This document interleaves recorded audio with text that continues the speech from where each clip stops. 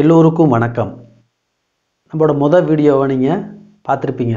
My dream அப்படிங்கிறது. அதை பார்க்காதவங்க கண்டிப்பாக அதை பார்த்துட்டு இந்த வீடியோ பார்க்க வாங்க. அந்த வீடியோட லிங்க்கை டிஸ்கிரிப்ஷன் பாக்ஸில் கொடுத்துருக்குறேன். இந்த வீடியோ நம்ம என்ன பார்க்க போகிறோம்னா கிட்டத்தட்ட ஒரு உலகத்தில் அறுபது கண்ட்ரீஸில் நம்ம இந்தியர்கள் வந்து எம்பிபிஎஸ் பண்ணுறாங்க அறுபது நாடுகளில். அந்த நாட்டில் படித்து முடிச்சுட்டு இங்கே வந்து எஃப்எம்ஜி எக்ஸாம் எழுதுகிறாங்க நம்மள்ட்ட medical council of India release பண்ண டேட்டா இருக்குது. அதாவது ரெண்டாயிரத்தி பன்னிரெண்டுலேருந்து ரெண்டாயிரத்தி பத்தொம்போது வரைக்கும். அதாவது எஃப்எம்ஜி எவ்வளோ பேர் அட்டன் பண்ணாங்க? எவ்வளோ பேர் பாஸ் பண்ணியிருக்கிறாங்க?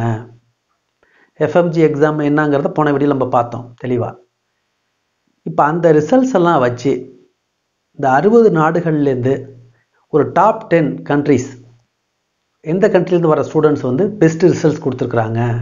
அப்படிங்கிறத வச்சு தான் நம்ம அந்த பத்து கண்ட்ரி என்னென்னங்கிறத பற்றி தான் இந்த வீடியோவில் நம்ம பார்க்க போகிறோம் இப்போ உதாரணத்துக்கு சைனா வந்து பதினஞ்சு பர்சன்ட் அப்படின்னா உடனே சைனாவில் உள்ள எல்லா யூனிவர்சிட்டியும் பதினஞ்சு இது வந்து கண்ட்ரியோட ஆவரேஜ் அதில் ஒரு யூனிவர்சிட்டி வந்து நாற்பது இருக்கலாம் ஒரு யூனிவர்சிட்டி பதினஞ்சு இருக்கலாம் ஒன்று இருபத்தஞ்சி இருக்கலாம் மாறி மாறி இருக்கலாம். ஆனால் ஆன் அண்ட் ஆவரேஜ் அந்த கண்ட்ரியோட வந்து பதினஞ்சு பர்சன்ட் அர்த்தம். ஸோ இப்போ வந்து இப்போ நம்ம பார்க்க போகிறது கண்ட்ரியோட ஆவரேஜ் ஸோ அதை நல்லா தெரிஞ்சுங்க இந்த டாப் டென்னில் இருக்கிற மொதல் கண்ட்ரி வந்து பிலிப்பைன்ஸ் அதோட பர்சன்டேஜ் வந்து தேர்ட்டி சிக்ஸ் பாயிண்ட் ஃபைவ் அதாவது நூறு பேர் அட்டன் பண்ணுறாங்கன்னா முப்பத்தாறு பேர் பாஸ் பண்ணுறாங்க அதாவது ஆன் அண்ட் ஆவரேஜ் மறுபடியும் நான் சொல்கிறேன் இது கண்ட்ரியோட average not individual university individual university முன்ன பின்ன இருக்கலாம்.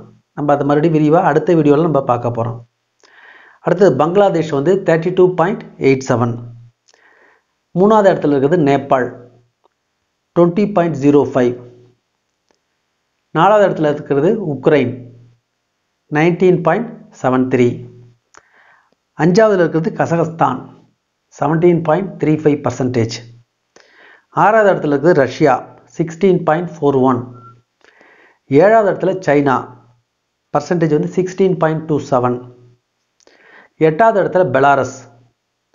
பர்சன்டேஜ் வந்து ஃபிஃப்டீன் பாயிண்ட் த்ரீ சிக்ஸ் ஒன்பதாவது இடத்துல Kyrgyzstan fourteen point five seven பத்தாவது இடத்துல Tajikistan thirteen point three seven so இப்போ இந்த பத்து கண்ட்ரியை பற்றி பார்த்தோம்.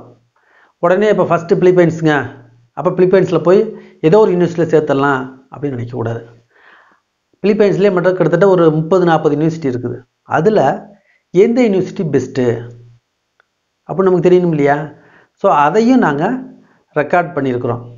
அனலைஸ் பண்ணி எடுத்து வச்சுருக்கோம் லிஸ்ட் எடுத்து வச்சுருக்கோம்.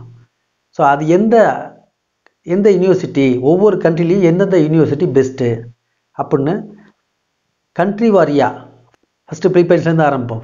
First Philippines Bangladesh Nepal Ukraine இப்படி வரிசையாக ஒவ்வொரு கண்ட்ரிலையும் அங்கே உள்ள எல்லா யூனிவர்சிட்டியும் அனலைஸ் பண்ணி அதில் எது டாப் ஃபைவ் இல்லை டாப் டென் அப்படிங்கிறது நாங்கள் எப்படி எடுத்திருக்கோம்னா ஒவ்வொரு கண்ட்ரிலையும் minimum percentage passing percentage fifteen percent அதை தான் நாங்கள் வந்து பேஸாக வச்சுருக்கிறோம்.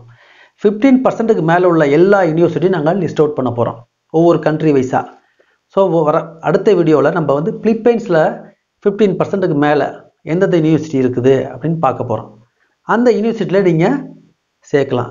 அதேமாதிரி எந்த யூனிவர்சிட்டியில் நீங்கள் சேர்க்கக்கூடாது அப்படிங்கிறதையும் சொல்கிறோம் சில கண்ட்ரியில் அது வந்து நான் ஒஸ்ட்டு கண்ட்ரி ஒஸ்ட் யூனிவர்சிட்டிலாம் சொல்ல மாட்டேன்.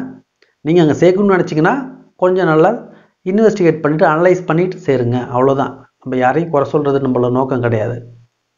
இப்போ இந்த ஃபஸ்ட்டு பிலிப்பைன்ஸ் சொல்லிட்டேன். ஸோ இப்போ எல்லோரும் பிலிப்பைன்ஸ் போயிடலாம் அப்படின்னு கிடையாது. இந்த பத்து கண்ட்ரிக்குமே ப்ளஸ்ஸும் இருக்குது மைனஸும் இருக்குது